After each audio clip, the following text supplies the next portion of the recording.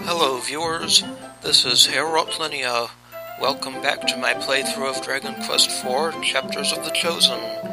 In the previous episode, we restored the light to the Pharos beacon, we recruited Torneko Taloon, and we got his brand new ship as our newest mode of transportation. So we're going to do a little exploring now. There's a little bit of that desert to the north that we didn't fill in earlier, so we'll do that right quick. And we'll run into a few sweaty yetis, two of them.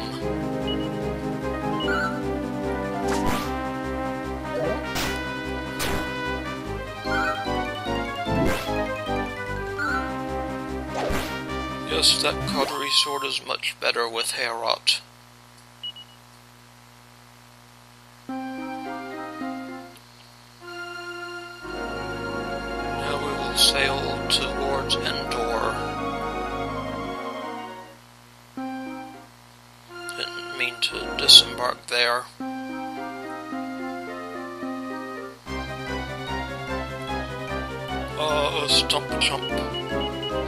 Let's grind it up.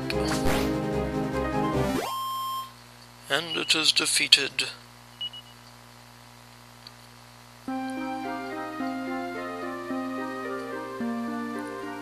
Get in there. And here we are in Endor, but I want it to be daytime.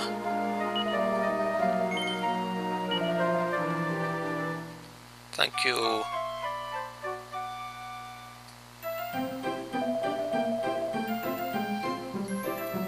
Shall be back.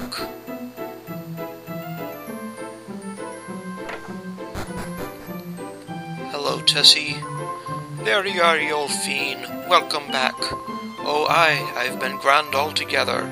I'm only waiting here watching me hairs turn grey while you go off hunting your dreams. Hello, Tipper. Da, you're home again. I, I've been a good lad, Da, I promise. I'm gonna make a mountain of gold when I'm older. You and Ma will have everything you could ever want.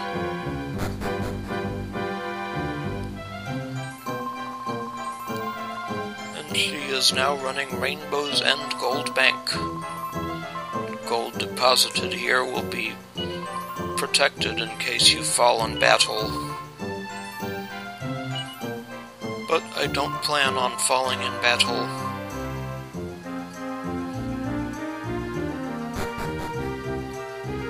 Just hang on to it.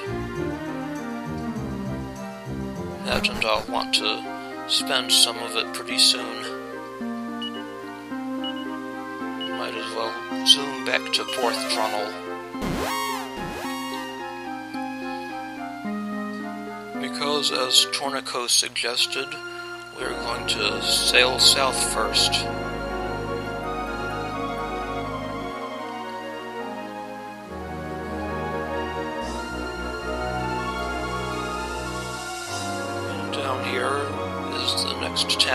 Want to visit.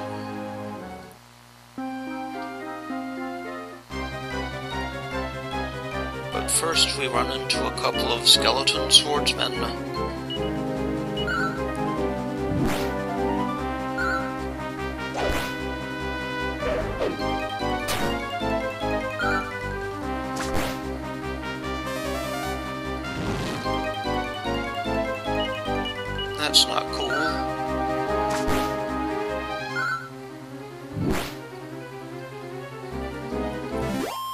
Boneheads.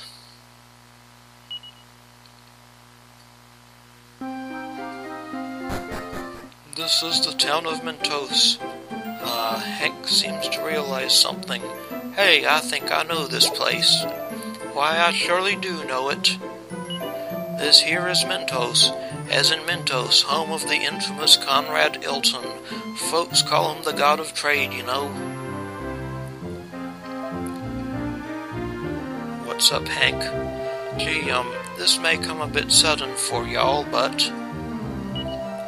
You know I've had a hog killing time traveling around with you fine people, and for that I'll always be mighty thankful.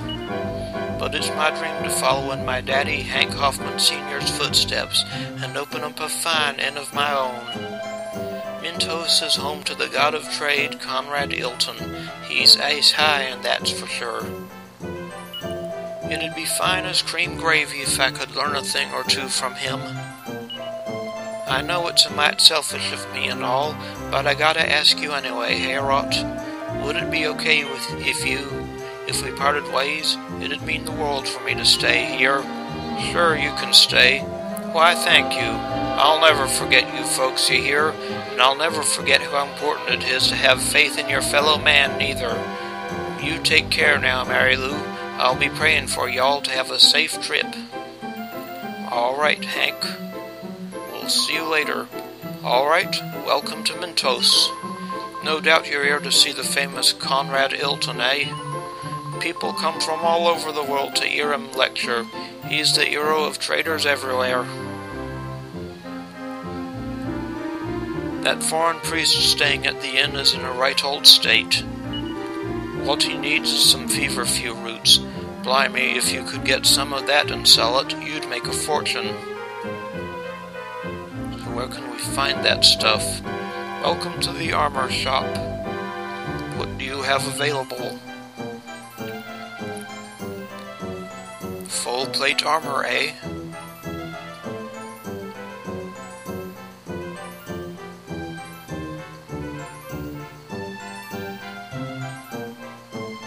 Iron helmets.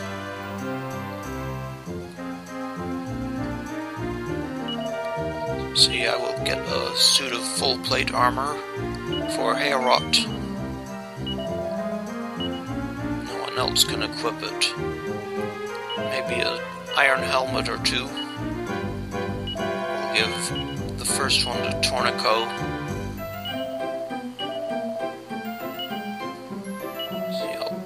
The other in the bag since Heorot's inventory is full. I will sell off the hardwood headwear. Yep.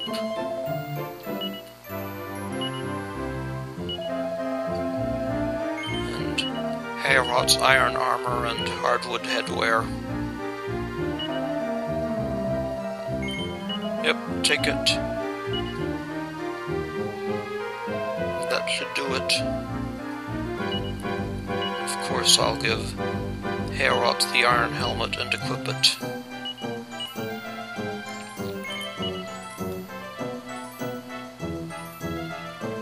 And now for the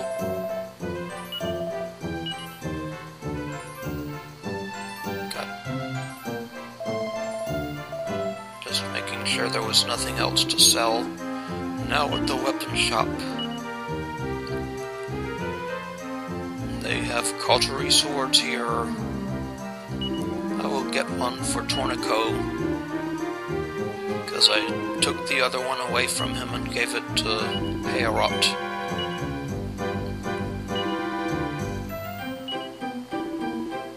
That should be good for now.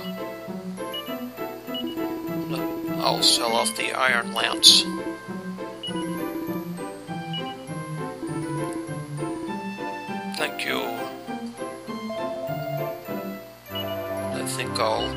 Stock up on a few provisions here at the item shop.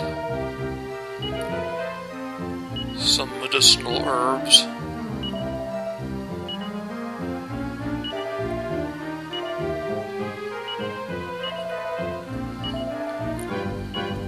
bad you can't get stacks of more than 30 in one transaction, but that's okay.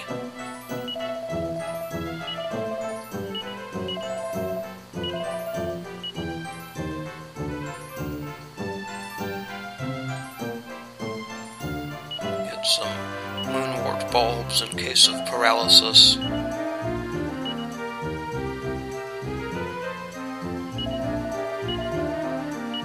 A few more antidotal herbs, maybe.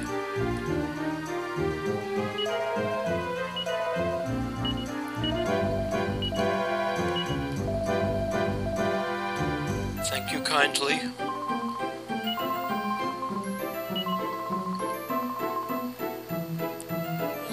See what this Conrad Ilton is about. Conrad Ilton used to be an adventurer back in his day. He collected all sorts of treasures and then made a fortune by selling them off. Conrad. He's the best businessman in the world, I reckon. That guy is asleep. My father's a trader, don't you know? That's why I'm here, trying to learn a bit about business. It's hard to imagine what the man next to me is gaining from all this, mind you.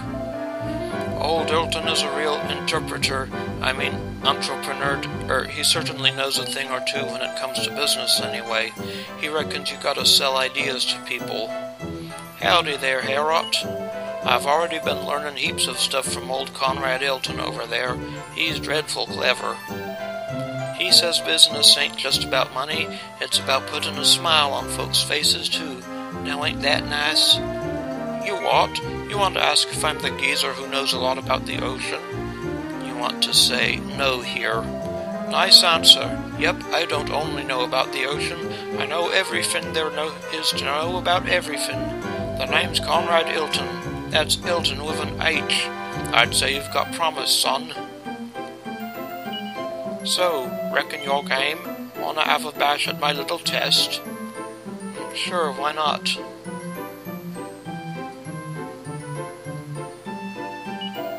Nice. Here's the question. What's the single most important thing when it comes to business? And Heorot says, nothing. I couldn't have said it better myself. You're right. Silence is golden, as they say. Huh? Tell you what, I'll give you me old treasure map for doing so well. I come across it when I was a nipper, but I never did figure out where the treasure was. Is that so? It's yours. Now we get the treasure map. Maybe you'll be able to find the treasure, eh? You should give it a go. Alright, Mr. Hilton. First, we'll explore your town. At the bottom of this well, we get another mini medal. That's nice. Now we're up to seven.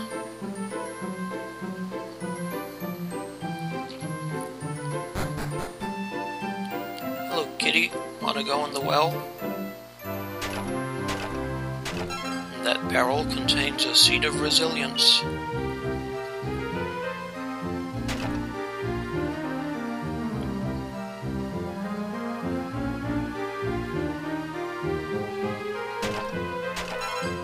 That barrel by the end contains a moonwort bulb. People call him the god of trade, but uh, so I had to come and see what was so special. But he's just a wrinkly old man. Conrad Elton's his name. He's give he's giving a lecture on that platform over there. Excuse me. Mintos may be a big place now, but it was nothing before Conrad Elton came along. He's the one who built that lovely inn of ours, and once he did, it wasn't long before travelers started flocking here. The place transformed into a prosperous town almost overnight, and it's all thanks to Mr. Ilton.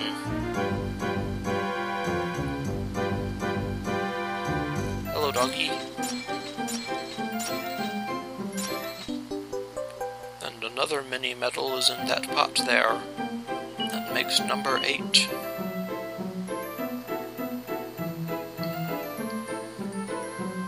Let's check out this house. When I was a bit younger, I was really ill just like that bloke at the inn. But then some woman from Parthenia came along and gave me some feverfew root. I was right as rain in no time.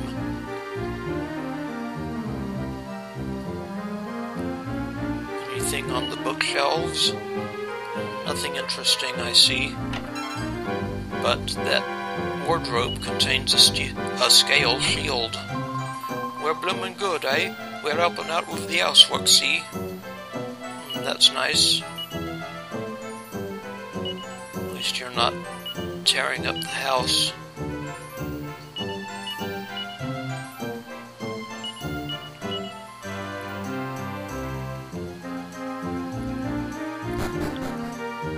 Let's check out this other house here. I had a bash at old Ilton's test, you know. I still ain't figured out the answer, though. I really wanted that treasure map and all.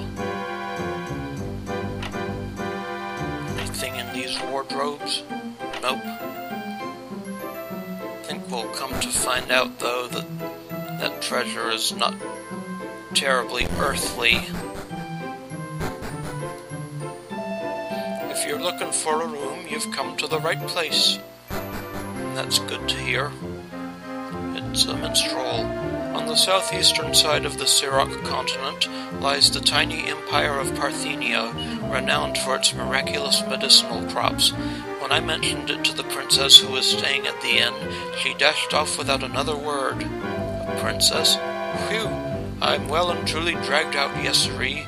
That old man Elton sure has a tough old way of dealing with folk. Maybe I've done good and made a mistake coming to be his apprentice and all. So there was a princess here, huh?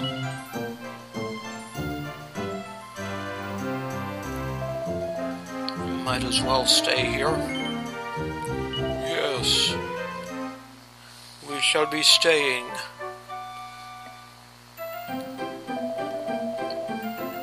Thank you, Mr. Innkeeper. Let us go upstairs. Anything on the bookshelf? Ah, Chapter 3 of the Quest for the Magical Staff. I am Roland the Wandering Wandsman. I now find myself in a town rumored to have links to the mag- magical staff I'm searching for. I asked around the moment I arrived to see if the townsfolk knew where I could find it. Unfortunately, my journey isn't over yet. It seems that the object of my quest isn't here in town after all. No, apparently it's hidden in a cave nearby. I ask you, whatever is the world coming to? Why ever do people insist on hiding such precious things in caves of all places? Now I'm in a real fix. There's nothing I loathe and detest more than caves, and that's a fact. You call yourself an adventurer. That pot contains a seed of wisdom.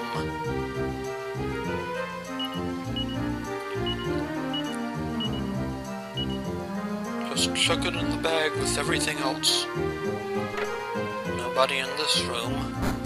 Let's check out the roof. There's nobody up there at the moment. But, ooh, a familiar face. Kiryl seems a bit poorly.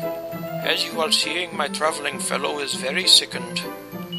Our mistress, the royal Tsarevna Alena, is gone alone to locate medicines. I am concerning for her safety also.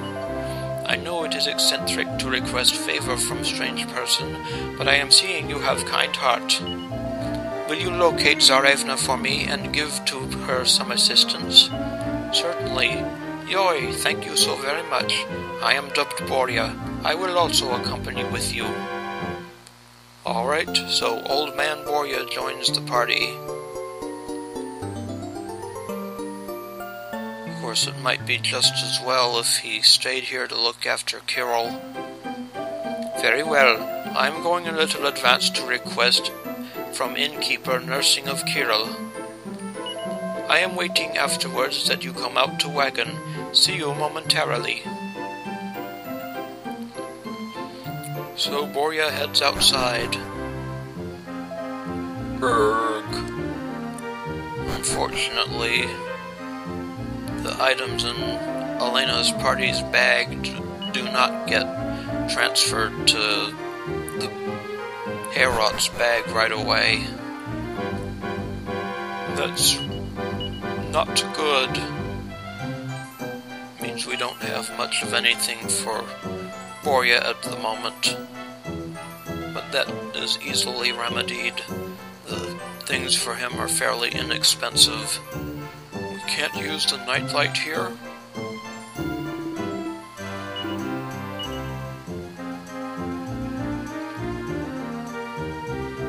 nothing here will work for poor Borya. Weapon selection and armor selection is pretty limited.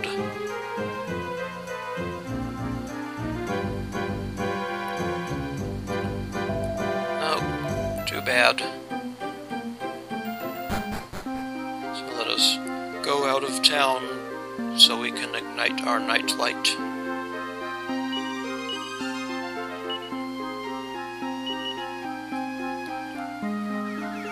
Suddenly night descends. Go into the village. Ah, ah, ah, achoo! It's a bit of a chilly night, eh? Still, welcome to Mintos and all that. Thank you. Huh? Looks like I must have been asleep. That old man's lecturing is enough to start anyone off counting sheep. Well, ain't no use in fighting it, I suppose. Kip time. Night night. Hello, kitty. Are you lecturing now? I'm beat. It's mighty fine to be able to cool off my heels at long last. Drumming up business ain't as easy as it looks. That new apprentice, Hank Hoffman Jr., sure works real hard. He goes picking Ilton's brains even after he's done a hard day's work. Hick, hick, hick. I've been done smiling all day long, and now my body's really kicking up a row. The most important rule of business is keeping a smile on your face by hook or by crook, but it sure ain't easy. I've been thinking to myself about becoming one of Ilton's apprentices, like. I dunno, though. It looks like bleeding hard work. Maybe I ain't cut out for it. Well, not everyone can be a salesman. Know because I'm not one. Our few up on the roof. Hoffman is with Conrad. I opened up me in thinking I could pick travelers' brains about where that treasure on me map might be. But I reckon I'm probably rich enough now, eh? I ain't got time to bother with treasures no more. Sounds like the start of Old Man Ilton's success was building an inn right here. That sure gets me thinking. What are you thinking about, Hank? Are you thinking about maybe setting up a settlement of your own somewhere, huh?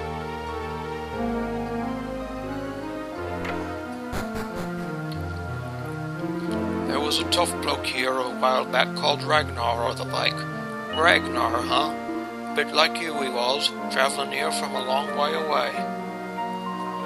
My hometown lies far to the south of the Siroc continent, don't you know? We have a small but rather grand castle, even if I do say so myself. It's been some time since I was last there. I do hope they've managed to cultivate some feverfew by now. Has there been some problem with their feverfew crop? Truth is, ever since the first time I saw you. Please, my child, say no more. I am promised to the goddess.